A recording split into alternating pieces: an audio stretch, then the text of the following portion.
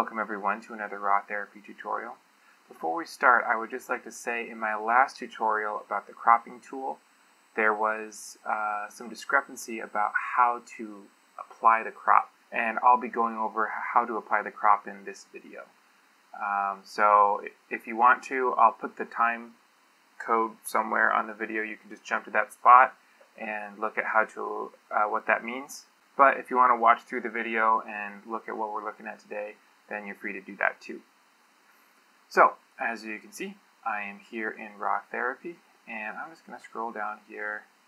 A friend of mine and I went out for a photo shoot the other day just to get some photos, and I'm going to go ahead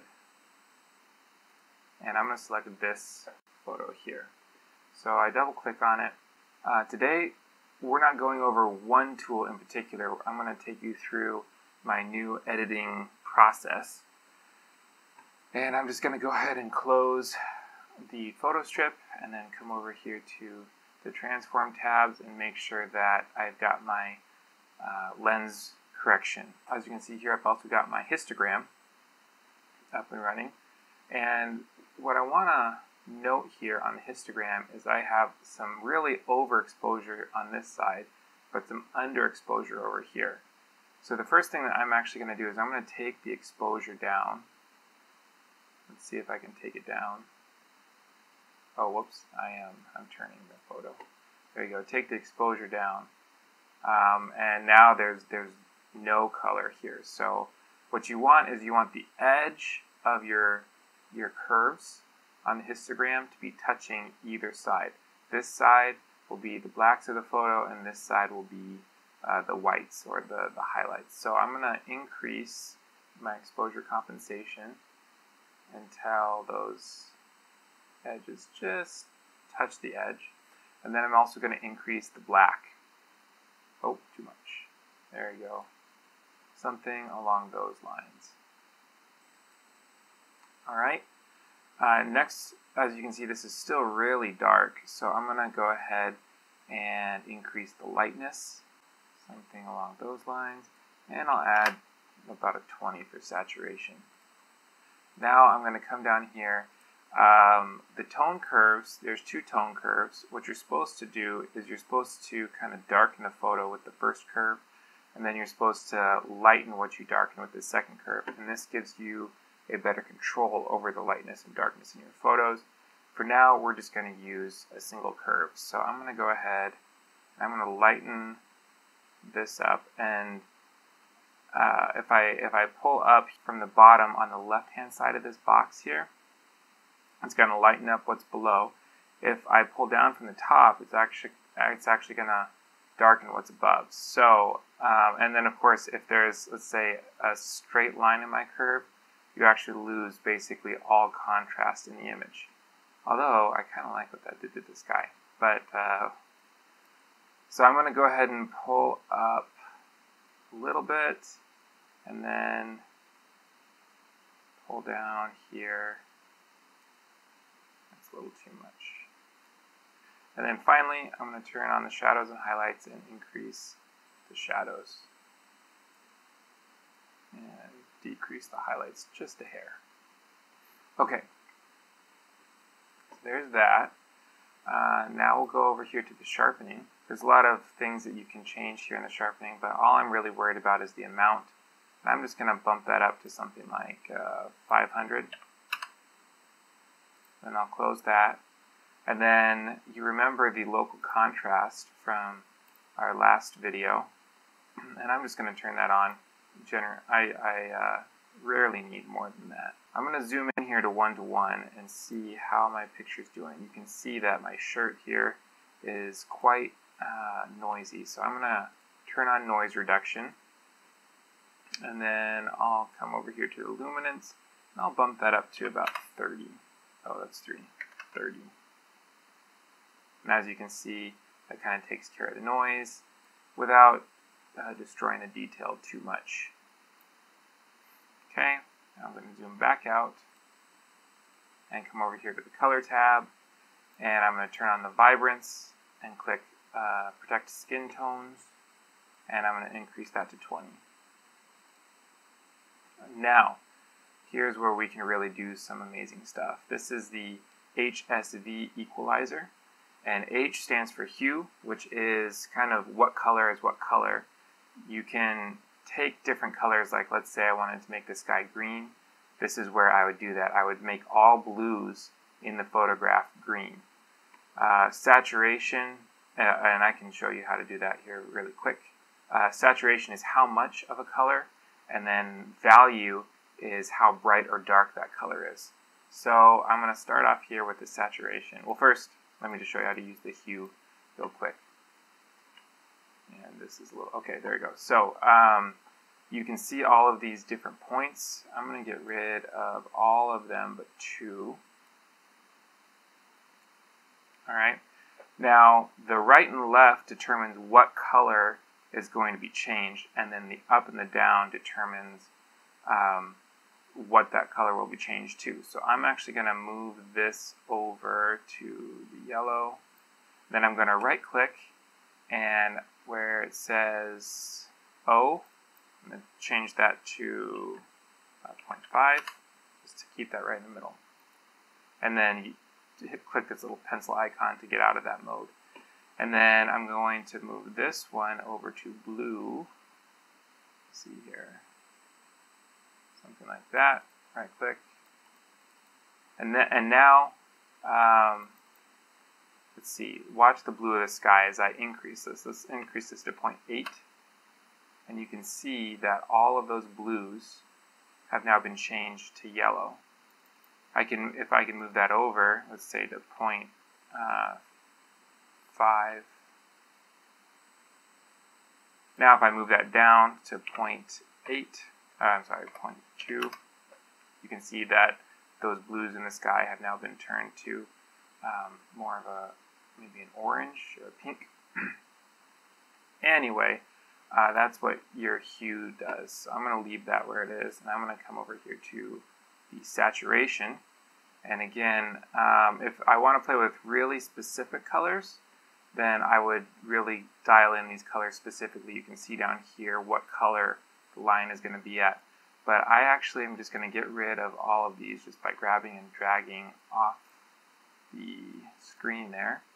And then I want to saturate my yellows and oranges. And you can see as I increase this, the saturation really changes. You can turn that off and on. And then I'm going to move this over to more of a blue and also increase that. So I'm going to increase this a lot just to kind of dial that in. Somewhere like there. Um, and then I'm going to right click this and bring it down to a 0.75. 0.75. Something like that. Now, one thing that's really great is you could decrease colors too. Let's say I wanted to decrease the greens.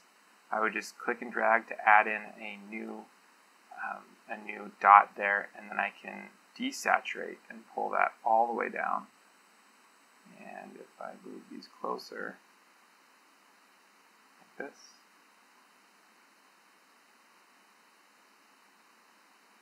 now I've actually desaturated what's down here. Uh, but I don't want to do that for this particular photo. Now let's come over here to the value and open that up. Wait for it. Okay, uh, so I'm actually going to darken the reds here. Oh, one little trick too is you can see that as I grab the dot, it's really hard to keep this straight up and down. So um, I'm actually going to reset here. If you grab above the dot, it'll, I, well, that goes right or left. Um, sorry. If you grab above the dot, there you go. Now that it's locked to up and down. So, and you can see that uh, as I increase this, my face um, gets brighter, and as I decrease it, it gets darker. So I'm going to decrease the reds a little bit. I'm going to increase the brightness of the yellows quite a bit. Uh, I'm going to decrease the greens and decrease the blues.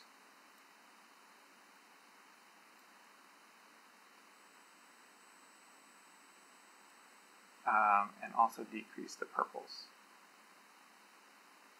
So actually, I'm just going to get rid of this one. There we go.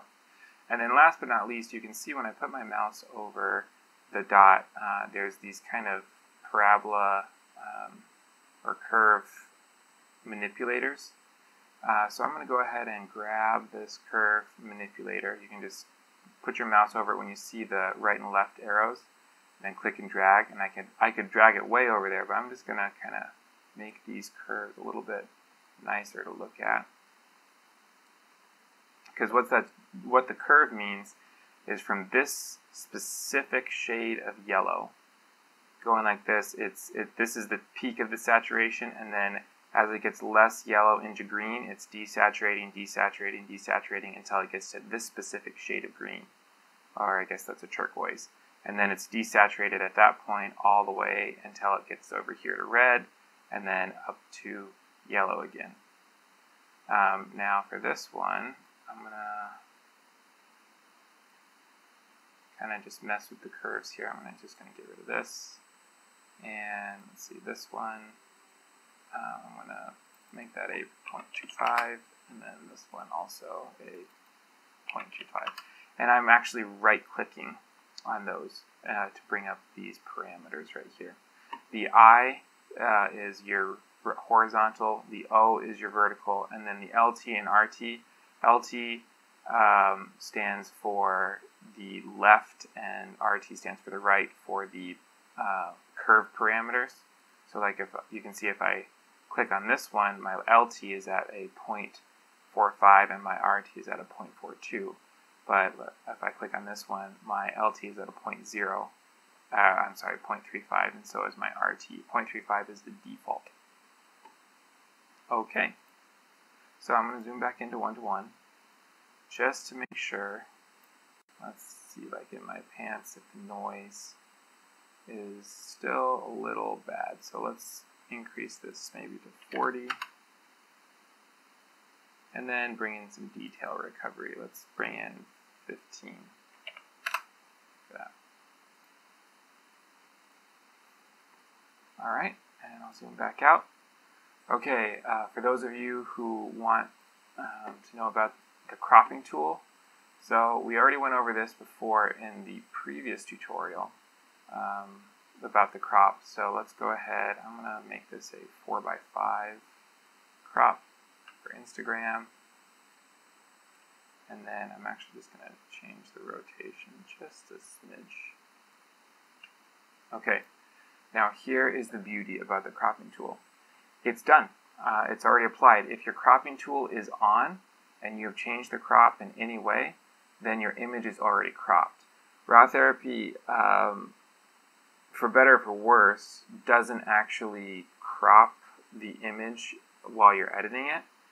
So uh, if you want to see what your image looks like cropped, you can come up here to the background color, where right here it's um, right here in the what is this the editor window.